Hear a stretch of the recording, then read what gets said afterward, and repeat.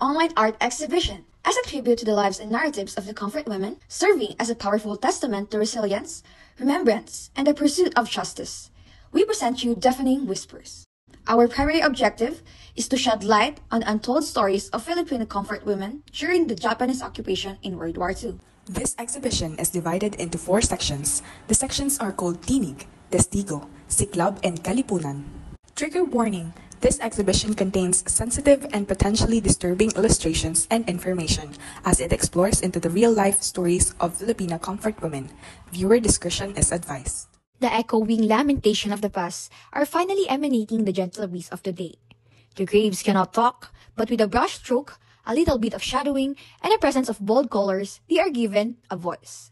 Through the power of art, doors that locked the Philippines for gun wars are painstakingly trespassed in hopes of offering an opportunity for the present to catch sight of the ill-treated women. No amount of grief will ever measure the amount of torment they have gone through. The work of art within this exhibition pay tribute to women who fought, who are fighting, and who urge to continue to fight for what they deserve. Every piece highlights different materials and techniques that were meticulously created to create a communication between the past, the present, and hopefully, the future. We will begin with the first piece called Tinig. In this section, photo walls are hung to showcase the pieces self-made by the group. The first piece is a digital artwork titled Diversity of Women by Miss Dana B. Torda. This artwork celebrates the beauty of diversity among women, portraying them with unique characteristics and backgrounds. Through its inclusive representation, it promotes empowerment and encourages appreciation for the multifaceted nature of womanhood. Next artwork is another digital painting by Miss Trisha F. Echage that explores the trauma and resilience of comfort women during World War II. This piece is called Her Sanctuary. The artist utilized a bold color scheme of red, blue, and black to convey intense emotions through the portrayal of a woman's divided face, symbolizing the violence of her experiences as a comfort woman, and tears depicted as drops of blood. The artwork emphasizes her suffering. Third piece by Mr. Sean M. Alarcos is also digitally created and named Lingering Agony, which shows a lone woman surrounded by many hands, representing the ongoing exploitation she endured.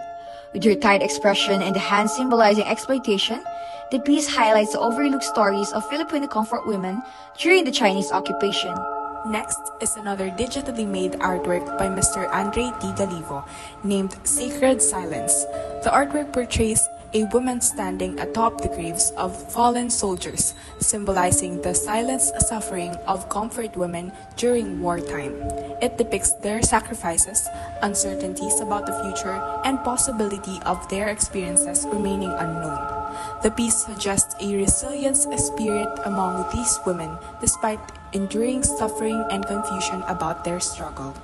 Fifth in order is The Shattered Innocence by Ms. Zach V. This acrylic painting depicts the shattered experiences of sex slavery victims during World War II, symbolized by shades of red, black, and blue. Recorded testimonies from Filipinos who suffered as a comfort women vividly narrates their struggles, while overflowing blood from the woman's reflected chest in the mirror and a bandage across her silhouette signify enduring trauma and desires for justice. The artwork is digitally made by Miss Megan C. Carlos. The piece is called Talulot ni Maria, which symbolizes the resilience of women who endured the horrors of being comfort women during the Japanese regime, portrayed as flowers plucked from peace into misery. Despite their trials, they stand as beacons of strength protected by thorns and radiating beauty amidst life's storms. Next, we have here Testament in Red made by Mr. Gabriel I. Dimaculangan using colored pencils on paper. The artwork features a blindfolded woman gesturing in silence, symbolizing the silent suffering of wartime victims, while red stripes in the background represents Japanese oppressors. This serves as a testament on the injustice endured by comfort women during the Japanese occupation, a reminder of their harrowing experiences that should never be forgotten. Next artwork is made by Miss Jade M. Lumalang. In What Media, the aftermath illustrates the dispute of comfort women after being sexually harassed by Japanese men, capturing the emotions of Filipinos who experienced this tragedy. The artwork showcases the troublesome task of illustrating a woman's face, rendering emotions they can't let escape. Against a dark background representing the repression and depression encountered during those times of trouble. Another digital artwork by Miss Kate Q. Hila is Tormented Flesh. This piece portrays a Filipino woman sexually harassed during World War II. Her torn clothes revealing delicate parts of her body, while the title Flesh refers to the torment endured by comfort women at the hands of the Japanese. The white faces symbolize the universal nature of such inhuman acts, set against a textured background in the dark shades of blue and red, emphasizing the woman's flight and shedding light on the hardships faced by the comfort woman. Veiled Sorrow is watercolor on paper by Miss Krista D. Pineda. This artwork portrays the silent anguish of 1,000 Filipino comfort women subjected to sexual slavery during World War II, with a grieving woman wearing a blindfold symbolizing their hidden suffering and embarrassment. Through the metaphor of the blindfolded woman in traditional attire, the painting reflects the survivors' decade-long fight for reparation against historical injustices. Last piece to conclude the Tinig section is a digital artwork by Miss Julia I. Bacolod. Her work is called Echoes of Silence, inspired by the harrowing plight of Filipino comfort women during World War II.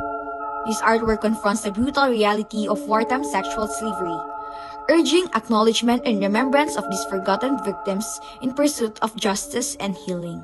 Let us now move on to the second part of our exhibit where we showcase living testimonies about comfort women and their hardships during the Japanese period. First and foremost, the statue is entitled Filipino Comfort Woman Statue.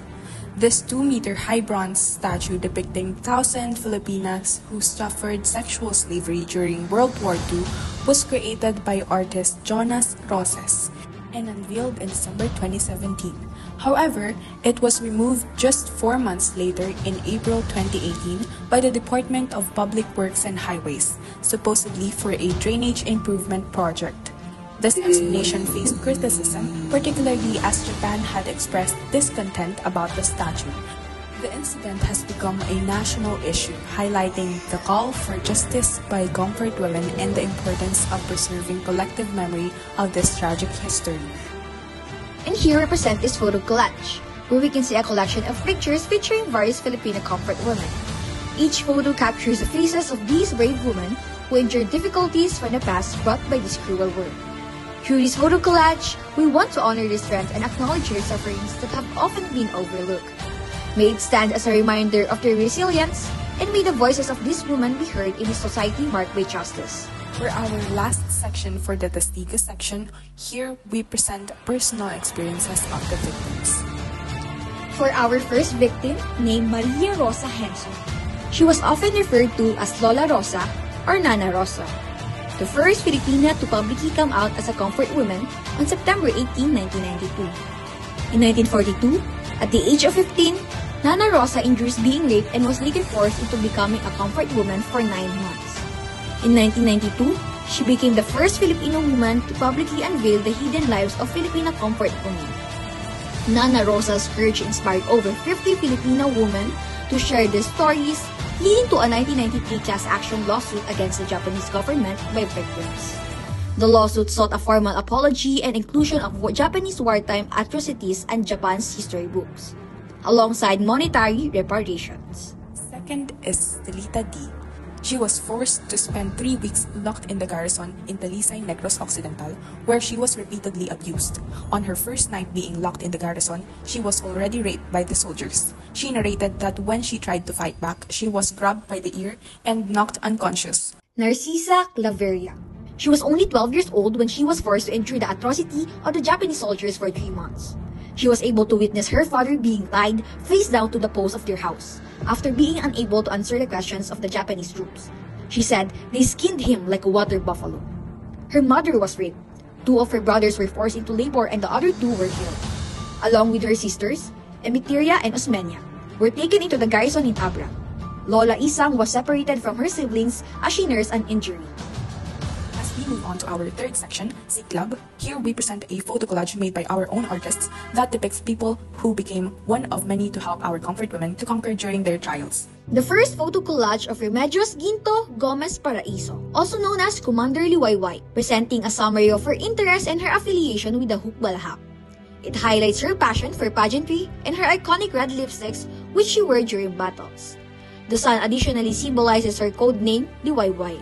Next is a photo collage that features Dr. Gudelia M. Pablan alongside nurses Carmen Lanot and Bruna R. Calvan, also known as Bataan's Angels.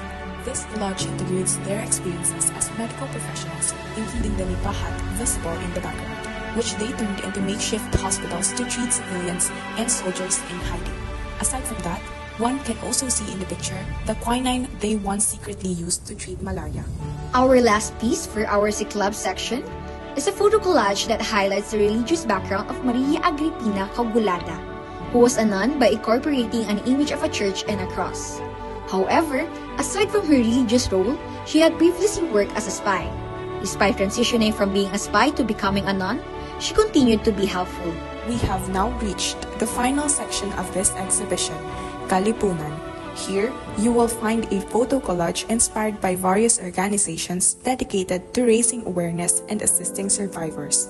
Also, we explore backgrounds of some of the organizations related to the subject. The Malaya Lolas, or Free Grandmothers as translated in English, is a group of former World War II comfort women that demand reparations from both the Japanese and Philippine governments for their sufferings. Despite dwindling in numbers from 90 to around 30, they persist in seeking justice through legal actions, including a lawsuit in Tokyo for an official apology and compensation. Despite setbacks such as dismissal by Philippine Supreme Court in 2009, they remain resolute in their pursuit of state-sanctioned acknowledgement and restitution. Lila Pilipina is another organization established for the victims of Japanese sexual slavery.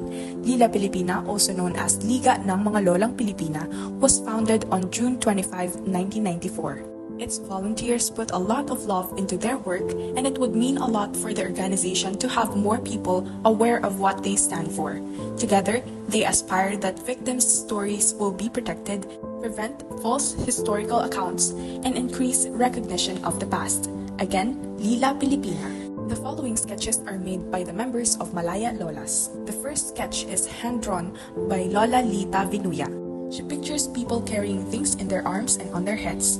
It might look like a pastoral scene at first, but it actually portrays Japanese soldiers making girls carry bags of stolen goods to the Red House. Second and last drawing is created by Lola Emilia Mangilit.